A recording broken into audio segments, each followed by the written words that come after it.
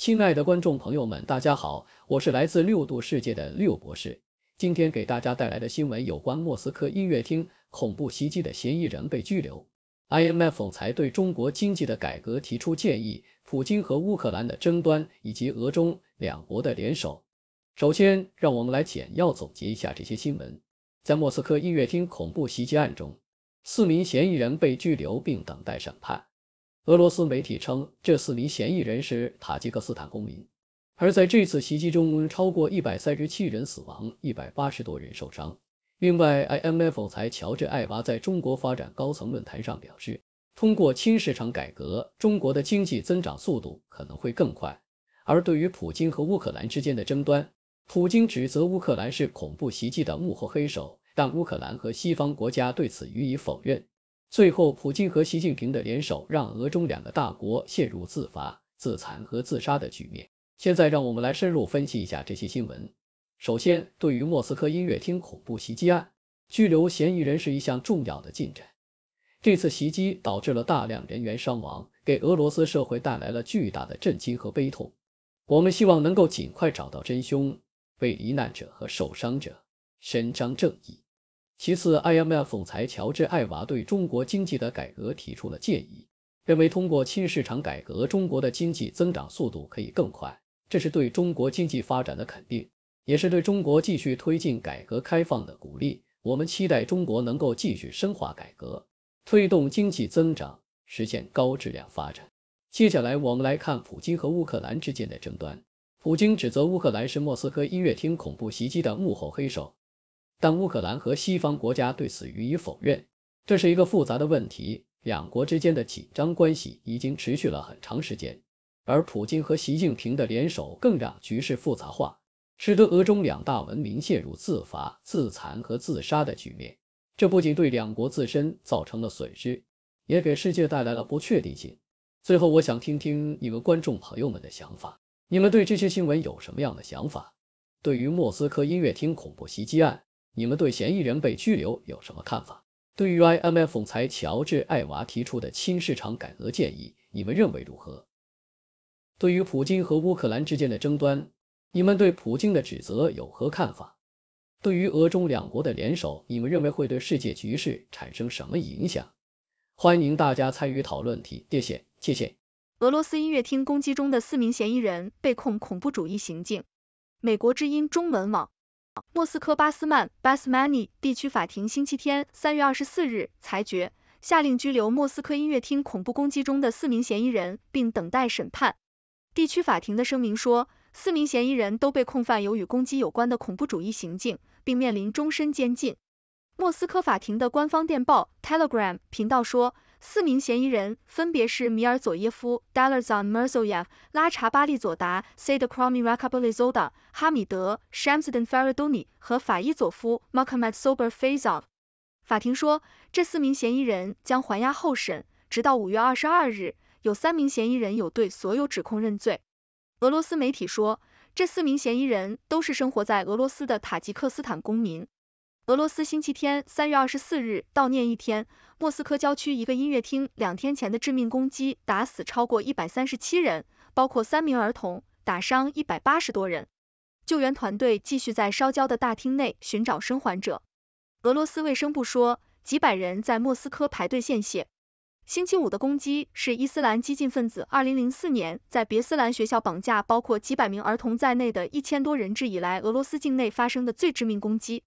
伊斯兰国恐怖组织声称对星期五的攻击负责。俄罗斯总统普京 （Vladimir Putin） 星期六对全国电视讲话时，对罹难者家人表示最深切的哀悼，宣布国家悼念日，誓言找到并惩罚发动血腥、野蛮恐怖行径的人。他说有十一人被拘留，包括四名武装分子。本文参考了美联社、法新社和路透社的报道。IMF 总裁：亲市场改革可使中国经济成长更快。RFI 法广，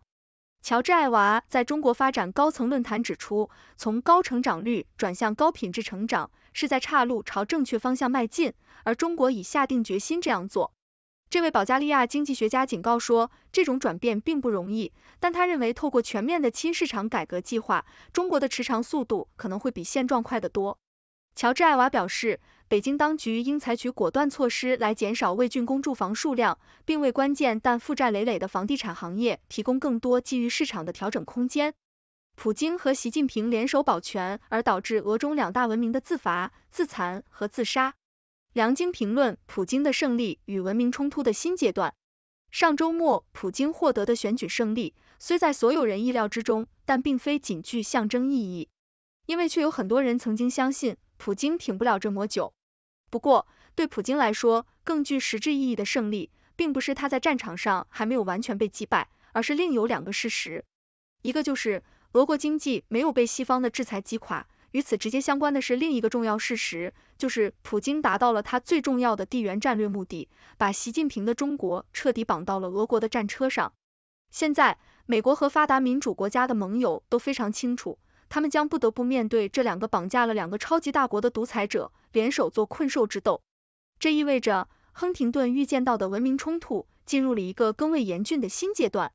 亨廷顿在美国看到了文化多元主义行不通，他也从美国在冷战期间的外交实践中看到了美国把自己的普世价值硬推向全球也行不通。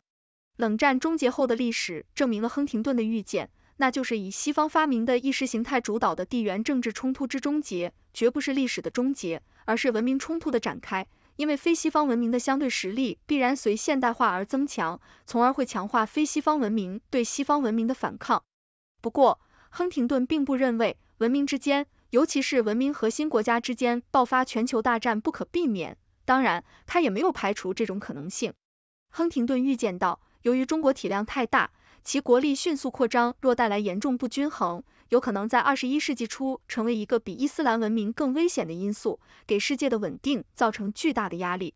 亨廷顿试图想象这个压力展开的地缘政治逻辑，正确的预见到了一些重要情节，如中国控制南海的野心，但他的想象与当下的现实出入也非常之大。亨廷顿根据文化相近程度判断，台湾和日本都会顺从崛起的中国。而俄罗斯则会加入西方阵营与中国开战，也就是说，亨廷顿很难想象俄国和中国这一对冷战后期的冤家对头，仅仅为了两个疯狂的独裁者保住个人权利，会重新走到一起，不惜与美国和西方打一场鱼死网破的核大战。那么，如何理解亨廷顿想象的逻辑与现实的重大误差呢？这个误差对文明冲突未来的形态和后果又意味着甚么呢？我的看法是。亨廷顿没有想到中俄两国的精英和领导人会如此低能和自私，由此导致的文明自罚、自残乃至自杀，给同样犯了严重错误的美国和西方领导层和精英更多补救和纠错机会。换句话说，亨廷顿关于中国崛起冲击世界秩序的想象，并非完全不可能，因为中国的领导人有机会不战而屈人之兵，不仅把台湾收回来，而且把日本也绑上战车。结果是爆发一场高度毁灭性的文明核心国家之间的全球大战。按照这个逻辑，普京和习近平联手保全，而导致俄中两大文明的自罚、自残和自杀，有可能避免文明冲突最坏的全球后果。因为这两个独裁者糟蹋了两大文明的实力和资源，从而减少了世界发生动荡和灾难的规模。但这个逻辑也隐含着这样一个假设，那就是俄中两大文明的自罚。自残和自杀会让他们无力打全球大战，从而不会对外部世界带来太大灾难。这个逻辑忽视了这样一个可能，那就是俄中，尤其是中国的内乱，并非不可能给世界带来一场形式不同，但规模和烈度都巨大的灾难。正如武汉瘟疫全球大流行所警示的那样，乌克兰宣布击中两艘俄罗斯战舰。RFI 法广，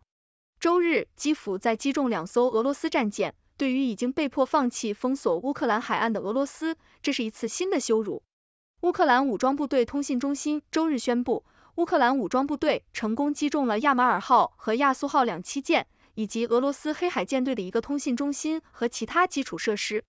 俄罗斯虽然没有予以确认，但占领区官员米哈伊尔·拉兹沃亚耶夫声称，周六晚间俄罗斯击退了乌克兰针对克里米亚首府塞瓦斯托波尔的大规模导弹袭击。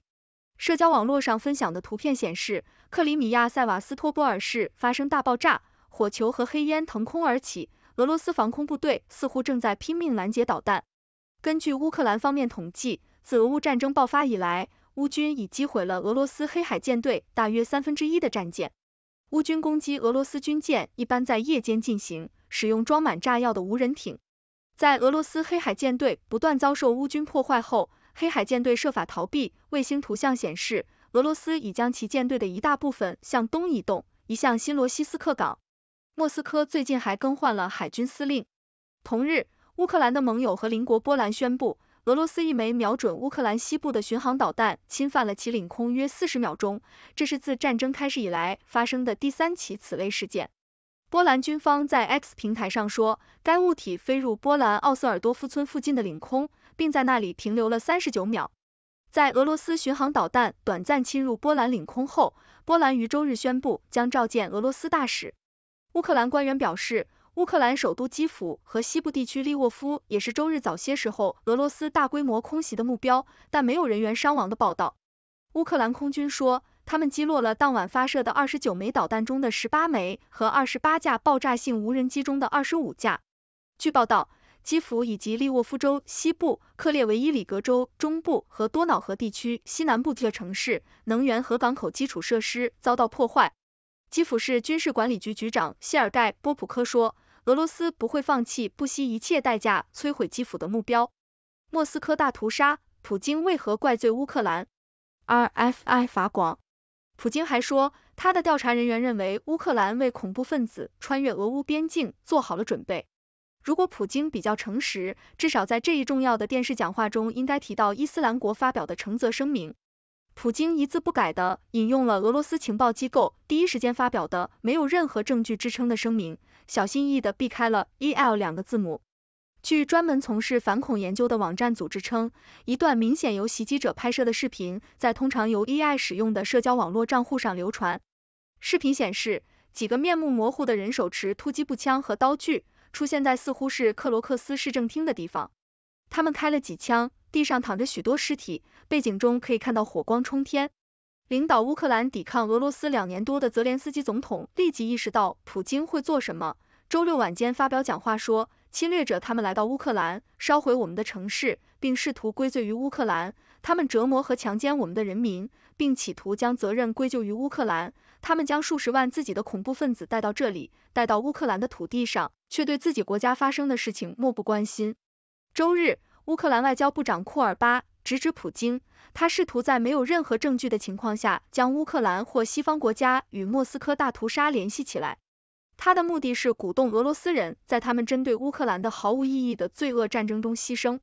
波兰总理图斯克明确警告说，希望俄罗斯不要把这一恐怖袭击用作在乌克兰暴力升级的借口。英国财政大臣杰里米·亨特也对普京的说法严重怀疑。他表示，我们知道他在制造烟幕弹，为完全邪恶的入侵乌克兰行为辩护。针对俄罗斯总统普京提及恐怖分子朝乌克兰方向逃跑，美国政府周日表示。莫斯科郊区音乐厅发生的大屠杀与乌克兰毫无牵连。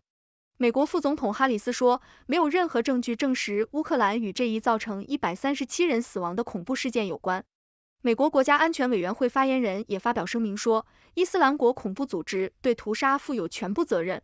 荒唐的是，在莫斯科恐袭事件发生前几天，美国已经向俄罗斯发出警告，恐怖分子正在准备对俄罗斯发动恐袭。普京不仅对此毫不理会，还将美国发出的恐袭警告称为挑衅。法国俄罗斯问题专家安娜·科林·列别杰夫 （Anna Colin l a b e d e v 就此分析，俄罗斯当局对国际处境的叙事几年来一直很明确：敌人就在西方，美国是头号敌人，其次是美国的盟国，而俄罗斯的朋友则是与美国对抗的国家。因此，如果把这一恐怖袭击归咎于伊斯兰国，一方面使得俄罗斯的传统叙事变得模糊不清，政治上也很难加以利用；另一方面，更显得克里姆林宫无能，无法预防来自外部的恐怖主义威胁。在这位专家看来，莫斯科还将会积极的通过认罪以及其他可以展览的方式搜寻乌克兰踪迹。有人对伊斯兰国在俄罗斯制造恐怖袭击感到难以理解。法国独立媒体 Media Par 创始人、政治观察家埃德维。普莱内尔 （Edwy Plano） 分析说，伊斯兰国对俄罗斯怀有深仇大恨。十年以来，这一恐怖主义组织就把矛头对准了被其视为欧洲东部杂种首领的俄罗斯。还有的分析指出，叙利亚阿萨德政权的武装在反对派武装以及 EL 恐怖组织的双重夹击下步步败退。俄罗斯军队介入后，反对派武装和 EL 遭遇重创，从此 EL 不仅与西方为敌，亦视俄罗斯为仇仇。Mediapart 资深记者 Matthew Suc 认为，关于本次莫斯科大屠杀，有几点不应忽略：一、屠杀的密度和手段。与伊斯兰国恐怖组织在法国巴黎巴塔克兰 （Bataclan） 音乐厅2015年制造的屠杀类似，巴塔克兰杀死了九十人，莫斯科死亡人数已知一百三十三人。二、宣称对屠杀案负责以及相应的公关宣传，都是通过伊斯兰国恐怖组织的官方或传统上习惯使用的渠道进行的。三、留下的一个疑问是，四名恐怖分子为何有充裕时间杀害至少一百三十三人，并且能够安全出逃？谢谢大家收看以上节目，这是我们的编辑团队为大家搜集整理的认为有价值的信息观点，但是并不一定代表我们立场，不作为任何行为的建议。欢迎大家为我们的节目点赞，订阅我们的频道，谢谢。